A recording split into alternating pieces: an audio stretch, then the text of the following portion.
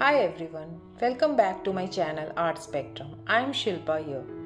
आज के वीडियो में मैंने प्लास्टिक के कंटेनर से मल्टीपर्पज़ ऑर्गेनाइज़र या फिर इसे लॉन्ड्री बास्केट भी आप कह सकते हैं बनाया है जिसे बनाना बहुत ही आसान है और ये देखने में जितना कॉम्प्लिकेटेड लगता है बनाने में उतना ही आसान है तो चलिए देखते हैं ये मैंने कैसे बनाया है इसके लिए यहाँ पर मैंने एक पुराना प्लास्टिक का कंटेनर लिया है और साथ में जूट के मेरे पास कुछ क्लॉथ के स्ट्रिप थे, वो लिया है।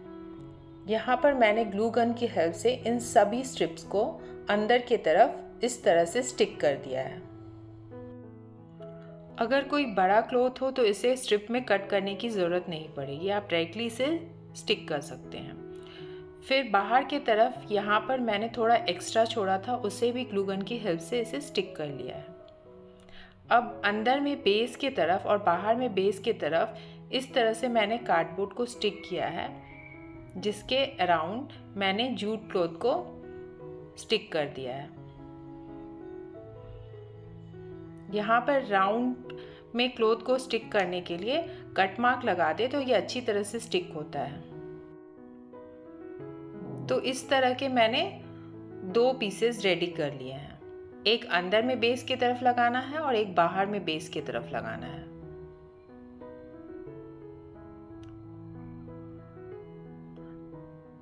ये मैंने अंदर की तरफ़ ग्लूगन की हेल्प से स्टिक कर दिया है। बाहर की तरफ़ मैं बाद में लगाऊँगी। अब यहाँ पर मैंने 4 एम mm थिक रोप ली है और इसके फोर पीसेस कट कर लिए हैं, जिसकी लंबाई बॉक्स के लंबाई से थोड़ा ज़्यादा है। तो इस तरह से मैंने फोर फोर रोप को एक साथ स्टिक कर लिया है और बॉक्स के अराउंड यहाँ पर ऊपर की तरफ़ स्टिक कर लिया है। सेम मेथड से मैंने फोर रोप लिया है और हॉरिजॉन्टल में इसे स्टिक करते गई हूँ। तो इसे ऑल्टरनेट ऊपर नीचे करके स्टिक करते गई हूँ। आप देख सकते हैं इसे मैंने कैसे स्टिक किया है।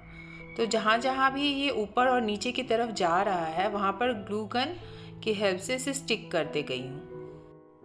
अगर आपको मेरा वीडियो पसंद आता है तो मेरे चैनल को सब्सक्राइब करना बिल्कुल ना भूलें और इसे लाइक और शेयर भी करें।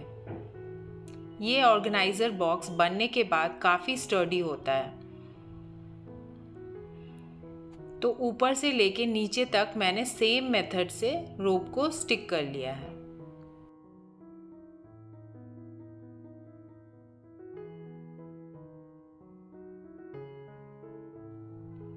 तो नीचे की तरफ़ लेंथ में थोड़ा एक्स्ट्रा मैंने रखा था, जिसे नीचे की तरफ़ मैंने स्टिक कर लिया है। और जो एंड पार्ट है, उसे हमेशा अंदर की तरफ़ स्टिक करें, ताकि वो दिखाई नहीं दे।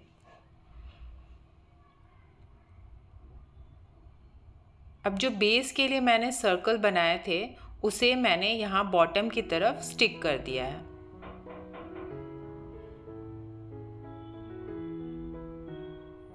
अब ऊपर की तरफ़ मैंने ब्रेड बनाए हैं, जिसके लिए मैंने टू टू मैक्रेम का रोप लिया है। इस तरह के छः रोप लिए हैं और इस तरह से ब्रेड बना लिया है। और इन ब्रेड को मैंने बॉक्स के अराउंड ऊपर की तरफ़ स्टिक कर लिया है, जिससे कि वो ऊपर वाला रोप दिखाई नहीं देगा और क्लीन लुक देगा।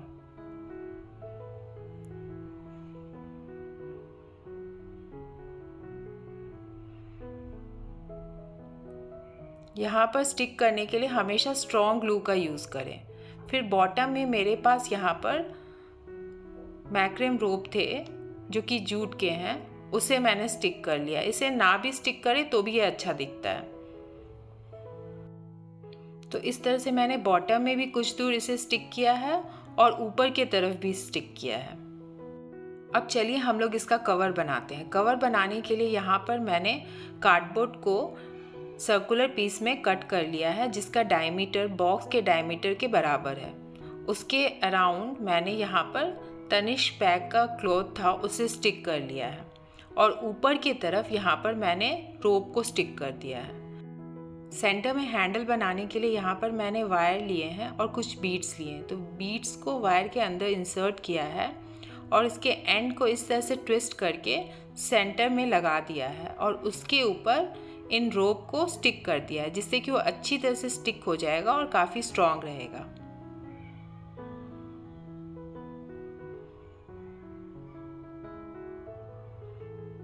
तो इस तरह से हमारा ये कवर रेडी हो जाता है।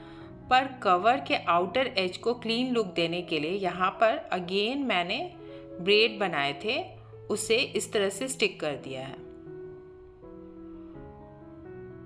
तो इस तरह से हमारा ये कवर रेडी हो जाता है। तो देखिए कितने ही इजी वे में ये ऑर्गेनाइज़र बॉक्स रेडी हो जाता है। इस ऑर्गेनाइज़र बॉक्स को आप किसी भी पर्पज़ से यूज़ कर सकते हैं। इसमें टॉयज़ रखें क्लोथ्स रखें या फिर कुछ भी ग्रॉसरी आइटम रख सकते हैं। आई होप कि आपको आज का ये वीडियो पसंद आया होगा। अगर पसंद आया होगा तो please do let me know in the comment section and don't forget to like subscribe and share my channel. Thank you.